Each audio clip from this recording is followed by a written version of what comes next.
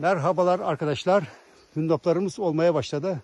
Şu anda hünnap nedir ve onunla ilgili birkaç tavsiyemiz olacak.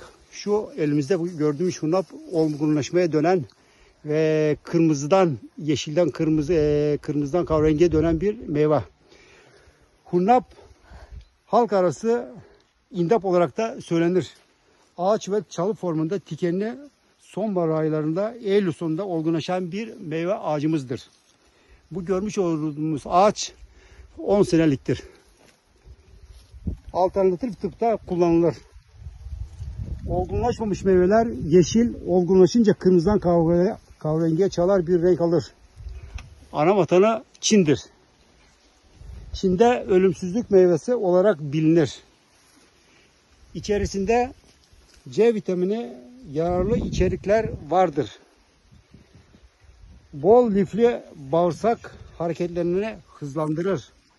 Birçok hastalığın tedavisinde kullanılır. Maksimum günde 5 adeti geçirmemek faydalıdır. Hınnap tikenleri bol tikenleri olan bir meyvedir. Şöyle tikenlerini de görebiliriz. Bak şöyle büyük büyük tikenleri var. Tikenleri görüyor musun? Nasıl?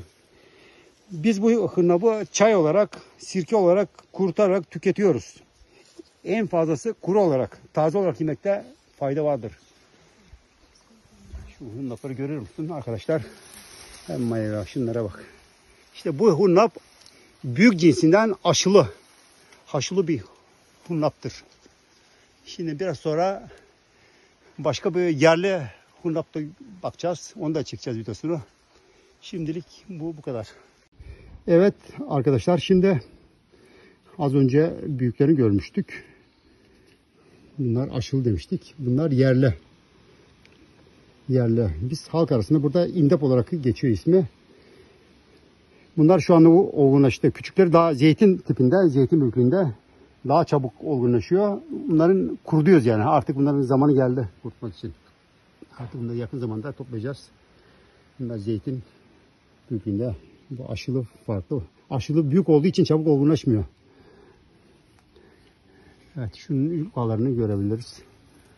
Salkım salkım. Yemesi de güzel nefis kıtır kıtır. Ya maşallah şunlara güzel. Dikenleri gayet dikenli. Artık bunu toplayacağız yani. Bir haftada kuruyor zaten o. Yani bu güzel yani.